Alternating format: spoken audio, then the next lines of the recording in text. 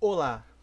Então, o trabalho Modelos Pictóricos de Vírus no Livro Didático foi realizado por o aluno Gabriel Abib, do curso de Licenciaturas em Ciências Biológicas do campus Visconde da Graça. Então, a gente sabe que o, no contexto das aulas de ciências, de todas as disciplinas, mas principalmente na aula de ciências, o livro didático ele ainda é o principal recurso na sala de aula, mesmo com muitas tecnologias disponíveis atualmente.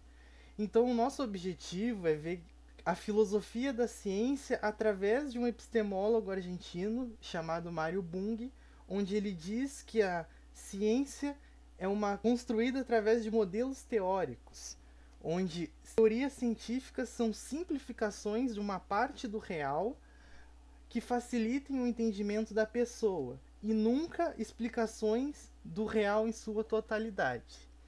Então a gente teve como objetivo investigar por meio da epistemologia desse argentino Mário Bung como são retratados os modelos pictóricos, ou seja, as figuras de vírus em um livro didático aprovado pelo PNLD 2018.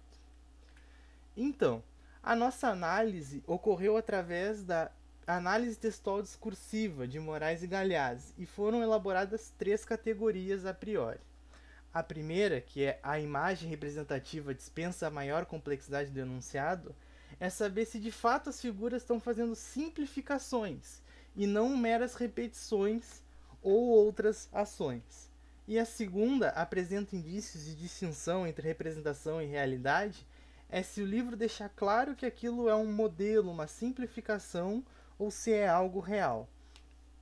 E por último, se existe uma contextualização nesses enunciados e nessas figuras que auxiliem a compreensão do aluno. Encontramos que de fato os livros não desempenham esse papel de simplificação, muito pelo contrário. Na maioria das figuras, eles estão retratando exatamente o que já foi dito em texto.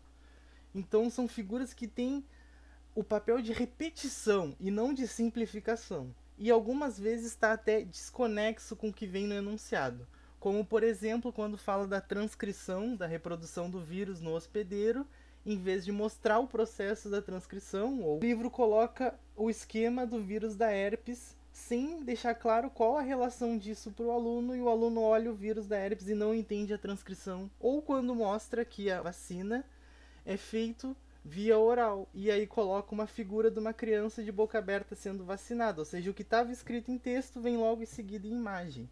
Então não há simplificações nesse sentido.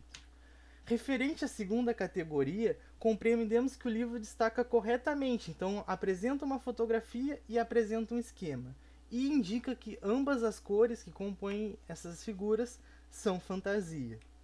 E relativo à categoria número 3, vimos também que foi nítida a preocupação de contextualização, tanto por momentos históricos como a gripe espanhola ou por mostrar a fêmea do Aedes aegypti picando uma pele humana com seu aparelho bucal.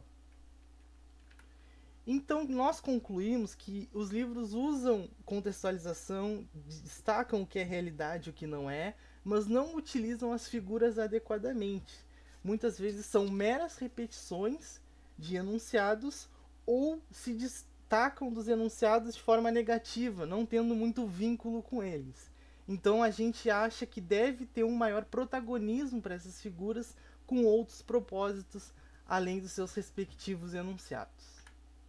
Muito obrigado pela atenção.